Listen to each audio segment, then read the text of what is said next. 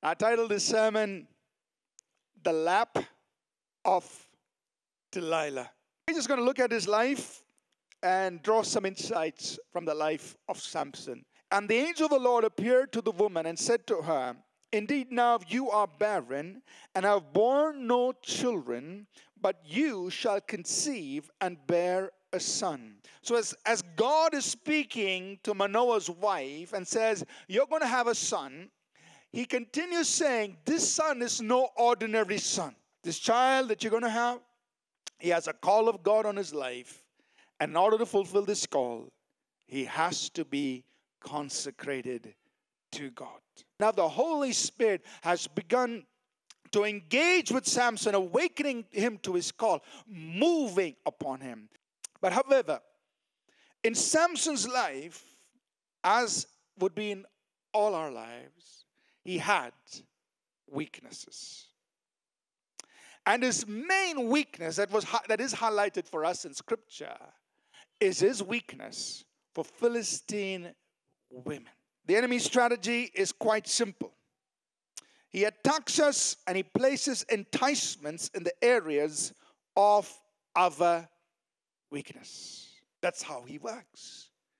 He comes over and over over again at our points of weakness. The lap of Delilah is a place of compromise.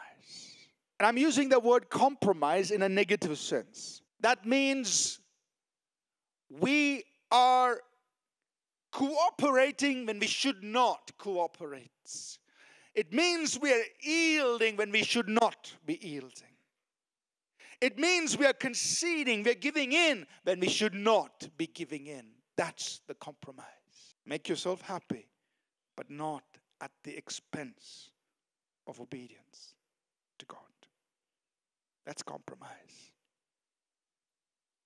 The second thing we see about the lap of Delilah is that the lap of Delilah is a place of complacency. It is coming to this place of, of self satisfaction, of self approval.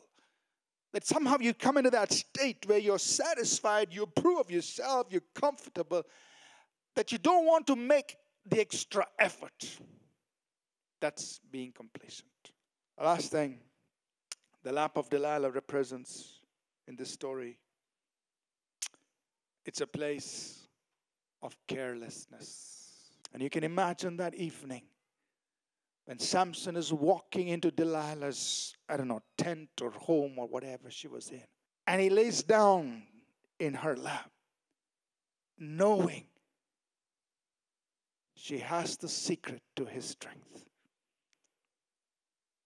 And he's saying, I don't care. If compromise moves us out of our place of consecration to God, if complacency puts us in a place of vulnerability to the devil, carelessness could be our downfall. In conclusion, when you look at the life of Samson, it's a life of unfulfilled potential if he had stayed in his place of consecration to God. We don't know what God could have done through him if he had just stayed faithful to his call, surrendered to the anointing, but just being in that place of consecration. But the lap of Delilah cut it all short.